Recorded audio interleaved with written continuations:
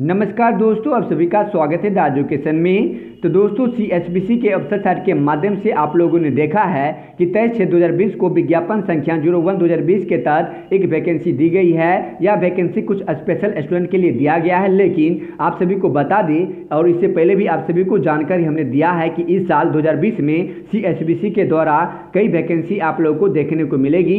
जैसे कि आप लोग जानते होंगे कि सी के द्वारा दस के करीब बिहार पुलिस कांस्टेबल में वैकेंसी दी जाएगी, और फॉरेस्ट गार्ड की भी वैकेंसी आप लोगों को इस साल ही देखने को मिलेगी। और विज्ञापन संख्या ज़ीरो वन, दो हज़ार बीस, ज़ीरो टू, दो हज़ार बीस, ज़ीरो थ्री, दो हज़ार बीस के अनुसार वैकेंसी आप लोगों को सी के सर के माध्यम से देखने को मिलेगी।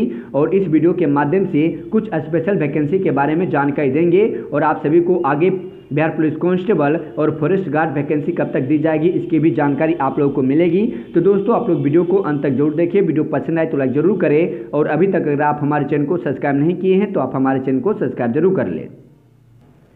तो दोस्तों, केंद्रीय चयन परिषद सिपाही भर्ती के दौरान आज सीएसबीसी के अफसर के माध्यम से एक नोटिफिकेशन जारी किया है और यह नोटिफिकेशन विज्ञापन संख्या ज़ीरो वन दो हज़ार बीस के तहत बिहार पुलिस अंतर्गत बिहार स्वाभिमान पुलिस बटालियन में सिपाही के रिक्त पदों पर अनुसूचित जनजाति की महिला उम्मीदवारों के लिए नियुक्ति हेतु विज्ञापन जारी किया है और उसका ऑनलाइन चौबीस सात दो को ऑनलाइन स्टार्ट कर दिया गया है। और आज सभी को बता दें कि यह वैकेंसी सिर्फ़ स्पेशल स्टूडेंट के लिए है और यह महिलाओं के लिए है और स्पेशल महिलाओं के लिए है और अनुसूचित जनजाति की महिला ही या वैकेंसी में फॉर्म फिलअप कर सकते हैं और बाकी सभी स्टूडेंट इसमें फॉर्म फिलअप नहीं कर सकते हैं। लेकिन विज्ञापन संख्या ज़ीरो वन के तहत जो वैकेंसी दी गई है इससे साफ़ तौर पर ज़ाहिर हो रहा है कि अब आगे विज्ञापन संख्या ज़ीरो टू और ज़ीरो थ्री भी देखने को मिल जाएगी और इस वैकेंसी में टोटल चार सौ चौवन पदों पर यह वैकेंसी दी गई है और इन पदों पर नियुक्ति हेतु विज्ञापन ज़ीरो वन दो के तहत जारी किया गया है और चौबीस छः दो को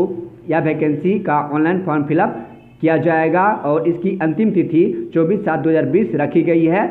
और इस वैकेंसी की बात करें तो कुछ स्पेशल महिलाओं के लिए यह वैकेंसी निकाली गई है। और अभ्यर्थियों की शैक्षणिक योग्यता टेन प्लस टू रखी गई है। दिनांक ज़ीरो वन ज़ीरो वन दो हज़ार बीस के तहत इंटरमीडिएट पास होनी ज़रूरी है।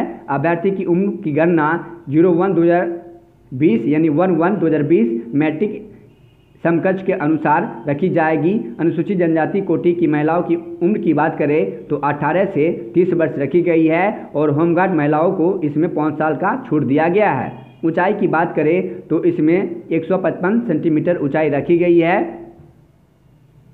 और इसमें भी 100 प्रश्न पूछे जाएँगे। एक प्रश्न एक मार्क्स का दिया जाएगा। एग्ज़ाम में दो घंटे का टाइम दिया जाएगा। एग्ज़ाम और मार्कशीट पर होगी।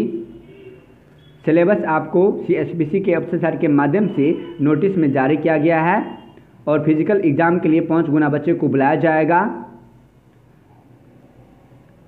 और महिलाओं का फ़िज़िकल एग्ज़ाम इस प्रकार है, जो आप लोग देख सकते हैं। ठीक उसी प्रकार, जिस प्रकार बिहार पुलिस कांस्टेबल में महिलाओं के लिए रखी जाती है, उसी प्रकार से फ़िज़िकल एग्ज़ाम के लिए रखा गया है। और यह वैकेंसी कुछ स्पेशल स्टूडेंट के लिए दिया गया है, जो आप लोगों को हमने बताया है। और जो महिलाएँ इस कैटेगरी में आते हैं, वह कमेंट करके हमें जानकारी दे, ताकि आप लोगों को आगे भी कुछ जानकारी हमारे चैनल के माध्यम से मिलती रहेगी। फ़िलहाल आप लोगों को फिर से बता दें कि अनुसूचित जनजाति की महिला उम्मीदवारों के लिए यह नियुक्ति दी गई है। टोटल चार सौ चौवन पदों पर वैकेंसी दी गई है और इस वैकेंसी के बाद अब बिहार पुलिस कांस्टेबल में और बिहार पुलिस फॉरेस्ट गार्ड में भी वैकेंसी एक से डेढ़ मंथ के अंदर दोनों वैकेंसी आप लोगों को सीएसबीसी के ऑफिसर साइट के माध्यम से देखने को मिल जाएगी, क्योंकि सीएसबीसी अब वैकेंसी 2020 में, जो 2020 के नाम से वैकेंसी आनी थी, अब आनी स्टार्ट हो गई है।